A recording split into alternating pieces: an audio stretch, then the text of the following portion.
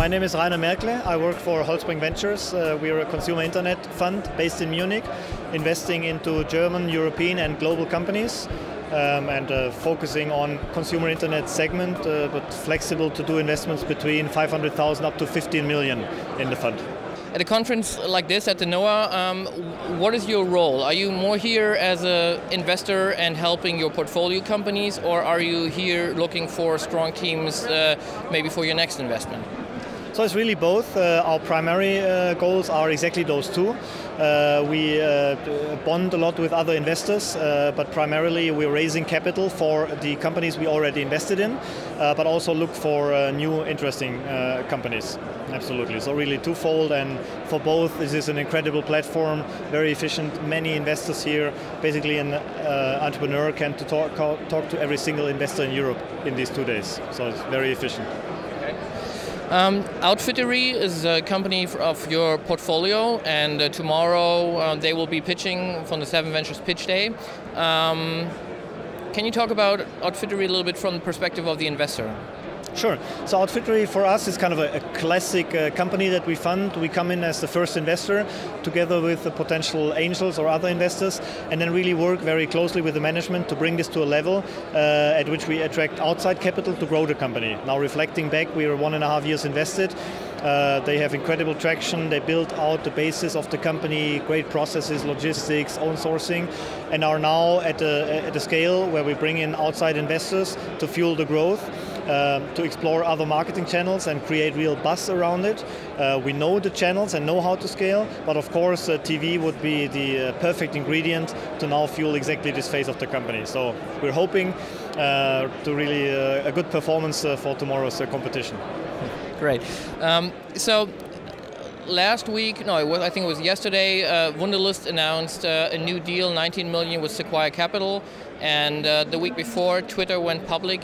Um, how would you rate the climate for startups um, at the moment, uh, and maybe a special view on Germany? Sure. So I think the climate uh, has never been better before, uh, but there are some uh, pitfalls uh, along the whole road. So if you uh, look at the different company phases from initiation all the way to a Twitter IPO, um, I think it's incredibly easy to start a company today. It's very easy to attract the first round of capital by angels, public money, early investors. But then what we see, especially in Germany, it's quite challenging to get those uh, two, three, five million of Series A investment before you're able to really show uh, significant traction, historical cohorts, to then attract uh, growth capital like uh, Wunderlisted. So I think uh, overall climate uh, is great, and especially you mentioned Twitter IPO. The public markets are getting more and more open uh, to consumer internet or digital media companies, and that's, that's really good, and fueling the ecosystem all the way top down but still we need to work more. What we do here, especially as well, is just getting uh, increasing the appetite of the investors, putting those critical two, three, five million into companies, and that holds true for Germany as well.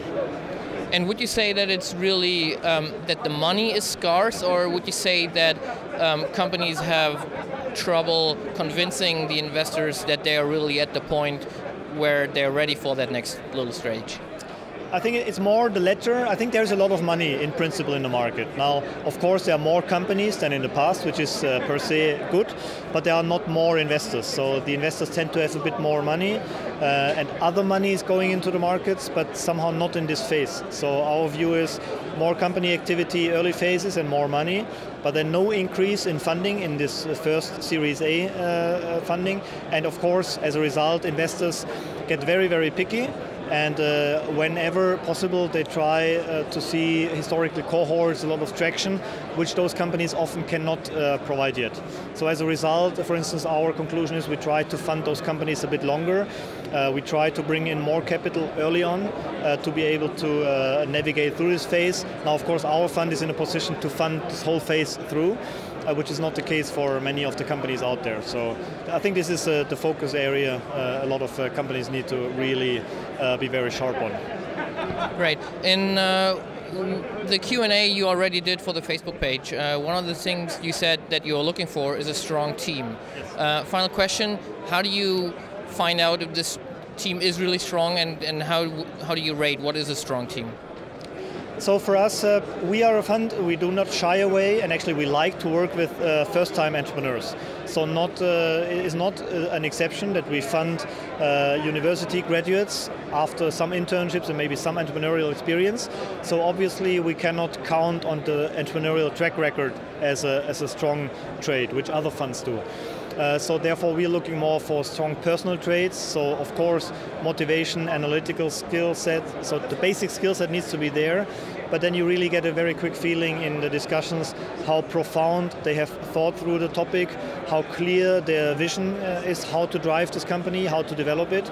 So it's really uh, rather intangible uh, personal traits that we want to see, but that if you look at our portfolio, uh, and look at the founder and CEO profiles, you will get a feeling of uh, it's, it's very driven uh, personalities, highly motivated, but very analytical, very sharp, clear pattern of execution. So this is really the stuff we're looking for. Great, thanks a lot for your time. Welcome, and have a good competition tomorrow.